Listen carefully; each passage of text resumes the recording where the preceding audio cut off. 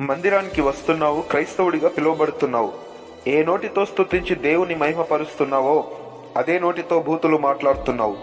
ఏ చేతులతో ప్రభుబలలో పాలు పొందుతున్నావో అదే చేతులతో పాపం చేస్తున్నావు. ఏ కాళ్ళపై నిలబడి ప్రార్థన చేస్తున్నావో అవే కాళ్ళతో అన్యాయానికి పరిగెడుతున్నావు. ఏ కళ్ళతో వాక్యం చదువుతున్నావో అవే కళ్ళతో పాపాన్ని చూస్తున్నావు. అలాంటప్పుడు మారు మనసు పొందానని ఎందుకు చెబుతున్నావు? ఎందుకు దేవుని నామాన్ని అన్యుల మధ్యలో అపహాస్యం చేస్తున్నావు? మార్చుకో. ముందు నీ ప్రవర్తన మార్చుకో.